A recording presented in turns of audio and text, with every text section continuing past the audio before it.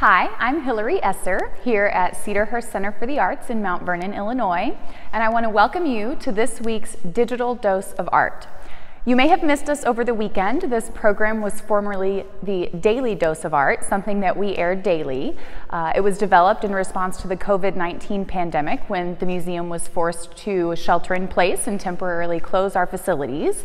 But as we get ready to resume some of our normal programming and reopen our buildings, um, we will be uh, transitioning this into a weekly digital dose of art. We got such a good response to it that we wanted to make sure to continue this program. And so we thank you so much for tuning in every day, and we hope that you'll continue to check back with us each week as we continue to bring you um, uh, our collections and, and various tidbits digitally. So today, for our first digital dose of art, I am going to share with you this wonderful, beautiful, fascinating sculpture created by Harry Bertoia. Uh, Harry Bertoia is a very well-known artist. He was born in Italy in 1915 and showed uh, very promising artistic skills at a very young age. So at age 15, he actually moved to America uh, to hone his artistic talents. Bertoia is very well known for uh, jewelry making and printmaking and furniture design, uh, and of course for sculpture, which is what I'm going to share with you today. Uh, what's fascinating about this particular piece of sculpture, it's called a sonambient, is that it's a musical sculpture. And so if you touch it, it actually makes music.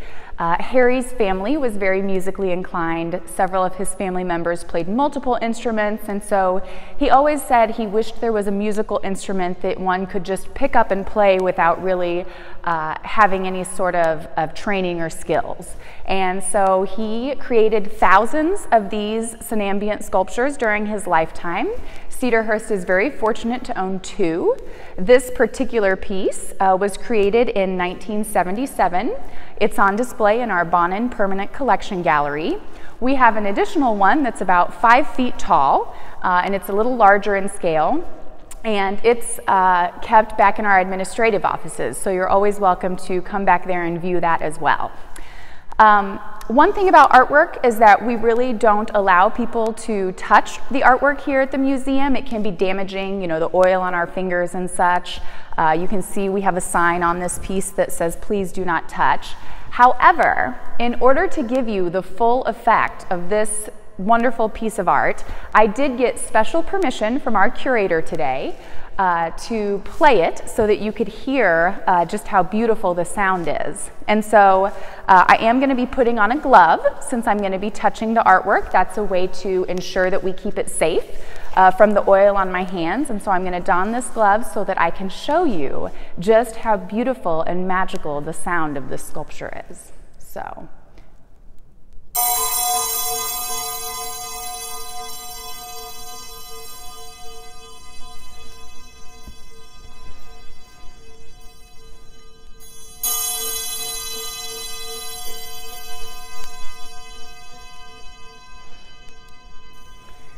The ringing is beautiful. I love the sound that this creates, and I'm excited for the opportunity to share it with you today. So thank you so much for joining us for our first weekly installment of the Digital Dose of Art. I hope you will tune in again next week, uh, where one of my fellow coworkers will be bringing you another piece of work uh, from our collections and from our featured gallery exhibits. Thank you so much for joining me.